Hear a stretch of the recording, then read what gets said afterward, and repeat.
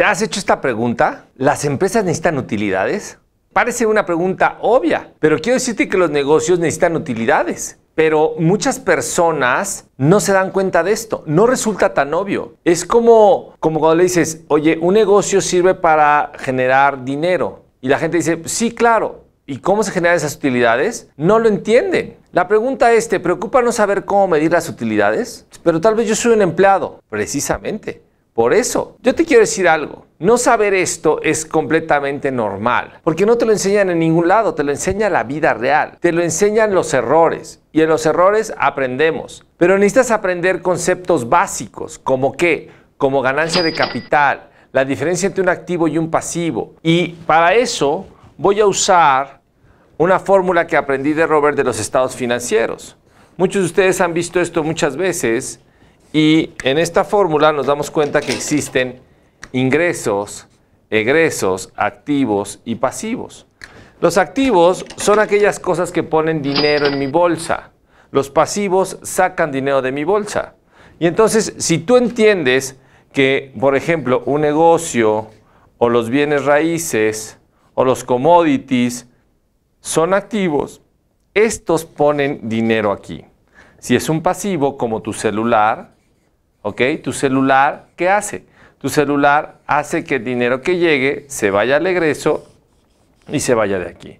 Puede ser que te llegue un ingreso por tu trabajo, va a ir al pasivo, se va al egreso y se fue de tu vista. ¿Por qué es importante entender un negocio? Porque los negocios necesitan generar utilidades.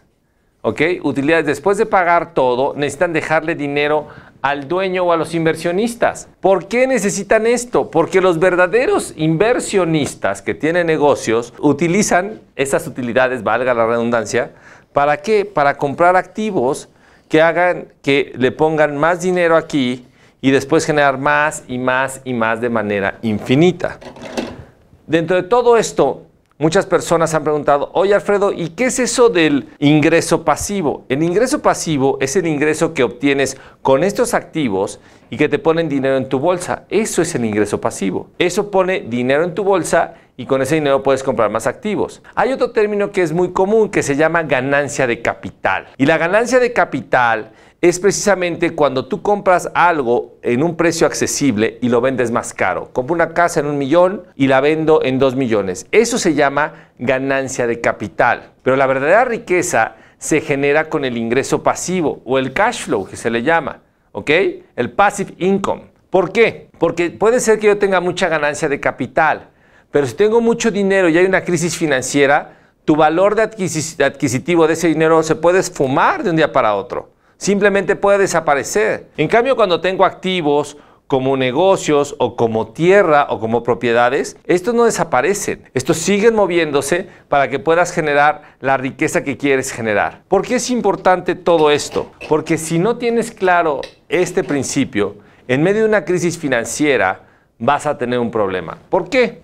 Porque al lado de esto hay otro de otra persona. Y lo que para ti es un ingreso, para ti es un pasivo, perdón, para otra persona puede ser un activo. Este celular es un pasivo para ti, pero es un activo para el que tiene el negocio de los celulares. Entonces esto le está poniendo dinero acá. Si entiendes estos principios, vas a entender cómo, cómo operan los bancos centrales, incluso el gobierno. Puedo entender y decir, ok, este gobierno está generando pasivos y pasivos y pasivos y pasivos, o está generando activos. Los gobiernos que empujan a los emprendedores y a los empresarios están generando activos. Son los, que producen la riqueza en un país, son los empresarios, son los activos de un país. Pero si el gobierno está enfocado a solamente dar ayuda y ayuda, ayuda sin control de esto, entonces están generando pasivos. Ojo, no estoy hablando de nadie.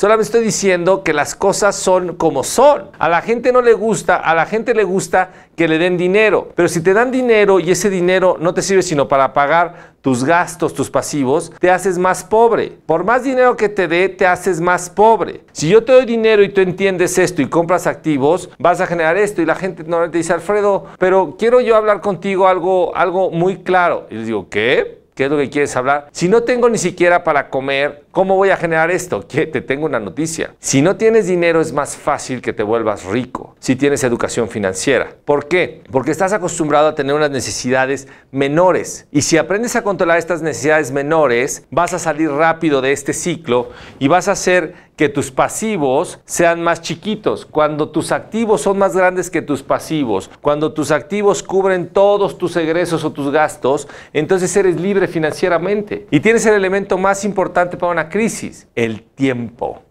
Así es que la pregunta es fácil para ti. ¿Qué quieres en tu vida? ¿Generar activos o pasivos?